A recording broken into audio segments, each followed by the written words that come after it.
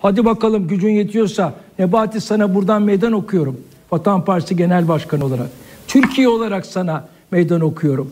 Türkiye tarımcısı adına, Türkiye sanayicisi adına, Türk milleti adına, Türkiye'de doğal gaz kullanan, benzin kullanan, mazot kullanan bütün üreticiler ve Türk milleti adına sana meydan okuyorum.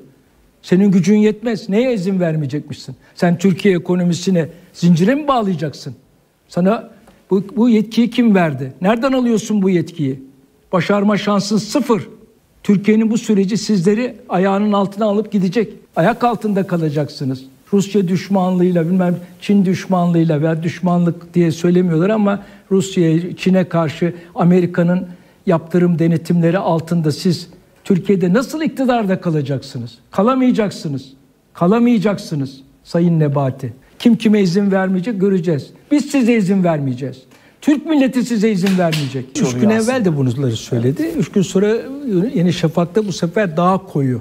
Evet. Bu sefer izin verilmeyecek diyerek Vatan Partisi'ne baskı yapacağız. Vatan Partisi'ne izin vermeyeceğiz. Vatan Partisi'nin Türkiye-Rusya ekonomik ilişkilerini geliştirmesi ve bu yaptırımları bir altın fırsat olarak değerlendirmesi konusundaki çabalarını sabote edeceğiz. Bunu da ilan ediyor ve sabote ediyorlardı onu da söyleyeyim. Biraz evvel söyledim. Rıfat Sığacıklıoğlu ve Gürsel Baran o sabotajların sonucunda Türkiye-Rusya altın fırsat toplantılarından imzalarını vesaire çektiler. Hükümetten emir alıyorlar. Böyle iş adamı mı olur? Hükümetten emir alan iş adamı olur mu? Hani serbest ticarette, hani serbest ekonomiydi? Eğer Amerika yönetecekse niye, niye bizim odalar borsalar birliğine yok bilmem TÜSİAD'a şuna buna ihtiyacımız olsun?